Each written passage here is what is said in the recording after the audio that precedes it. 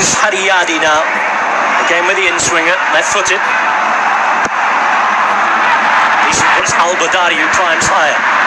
Back it comes again. For the moment, no flag up. A shot in, it's 1 1.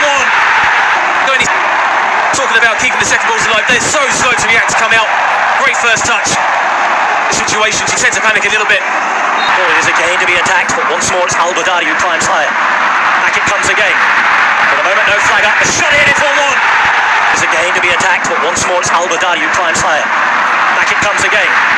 For the moment, no flag up. A shot in, it's 1 1. And it's been put home by Irfan Jaya. It's his first ever goal for his country. And look at that reaction. Back on level terms, and it's game on. It's a really well taken goal from him.